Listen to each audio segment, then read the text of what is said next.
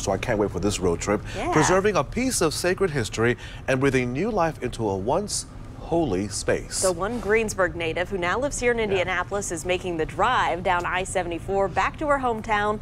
I'll show you a major renovation project, how it connects the past to the present.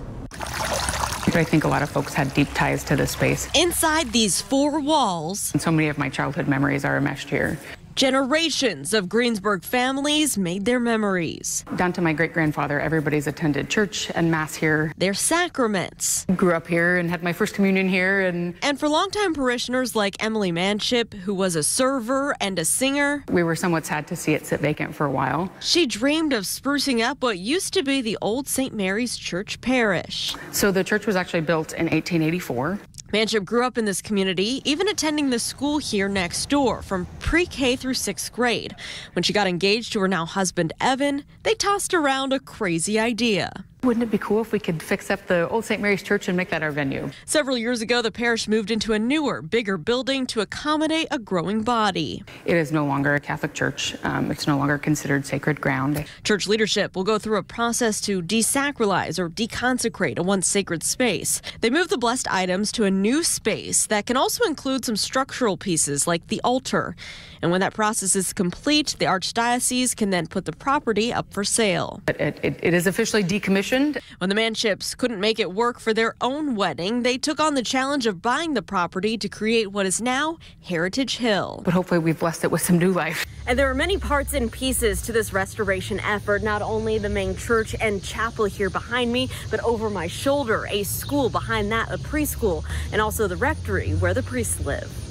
Inside the old preschool, they set up a catering kitchen with two suites for wedding parties.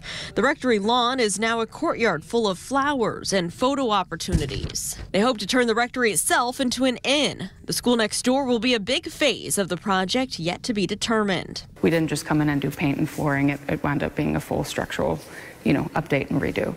And as for the main church and chapel, So there was a lot of graffiti and damage, and so it was. It was.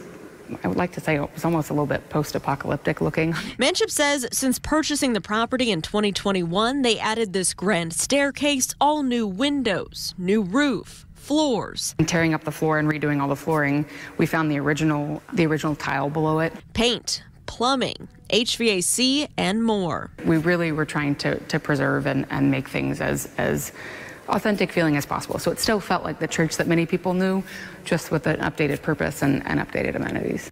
The old sacristy, where the priests would prepare the Holy Communion before Mass, now serves a new purpose. And we took the sacristy and, and now have returned wine to it, but in the form of a bar. The bell tower, where they still have the original stained glass, now houses their heritage wall, showcasing weddings, baptisms, first communions, and more from back in its early days. It's gone through some some big updates with with you know the way the Vatican has modernized Catholic churches, as, as I think we spoke about. And now, as Heritage Hill, they hope to welcome more of those big life moments into this special space. Hopefully, there's a whole lineage of, of folks who can enjoy the space and make more memories here.